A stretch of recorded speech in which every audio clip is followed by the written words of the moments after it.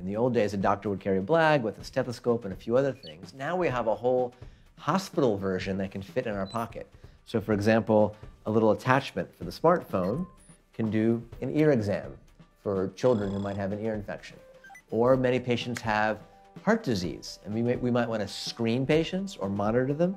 Now there's a simple case I can put on the back of a smartphone, and just by holding the case, it can record a live EKG.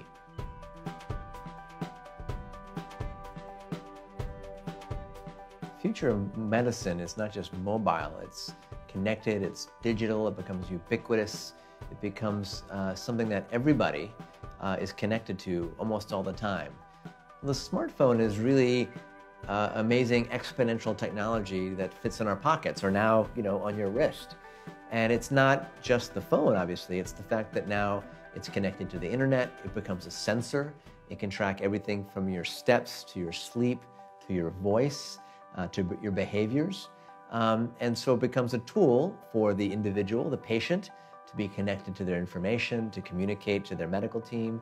It becomes a tool for doctors and nurses uh, to use information to monitor their patients from remote ways, to do telemedicine, because now the camera and the voice can all be transmitted in real time. We're seeing the integration of technologies that talk to your smartphone, the idea of a medical tricorder. Um, one of the companies that started here at Singularity University called Scanadu has made this version of a device that you use. You hold it to your forehead, talks to your smartphone, collects your vital signs, and integrates those over time. It'll, you'll start to learn what's your normal blood pressure, heart rate, and other information. And if you're getting sick, this can be used as a tool to help do triage. So, many ways, the smartphone can become a platform for diagnostics and helping manage disease as well.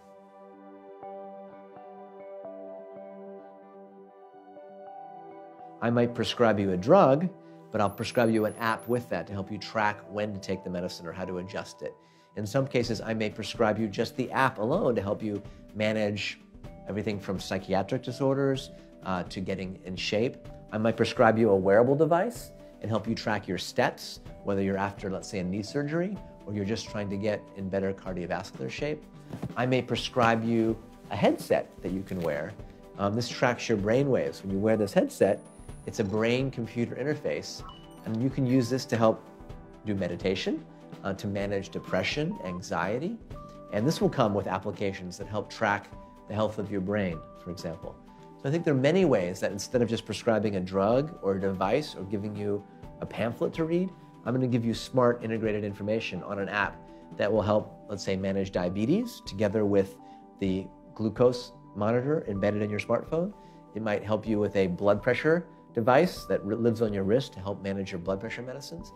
It may give you early warning when you're starting to get sick and don't even realize it.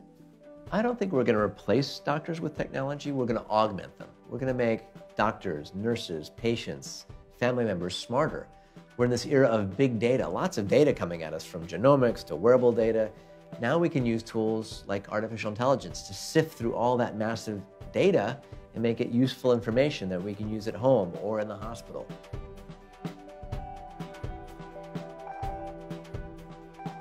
So a lot of technologies are moving exponentially. I run a conference called Exponential Medicine with Singularity University. We look at how technologies are getting faster, cheaper, and better. One of those that's developing quickly into healthcare is 3D printing.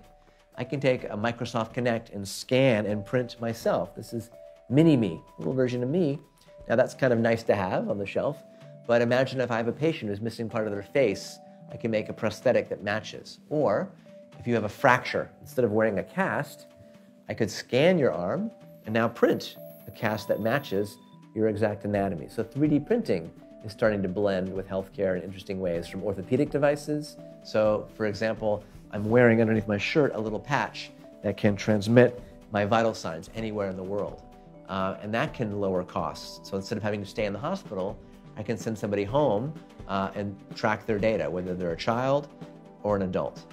I've got an example of one of these patches right here. It'll be about you know, two or three dollars a day. And this can be used almost like an intensive care unit to, to send that information anywhere in the world. And it's a really new era. We have disruption happening in all sorts of other areas, from banking to transportation to music. It's starting to come into healthcare, where we can shift the equation from treating people after they get sick to treating them even before they get sick, something I call stage zero medicine. So that's what's exciting about being here at Singularity University, about exponential medicine, and about thinking about the future and reinventing this for everybody around the planet.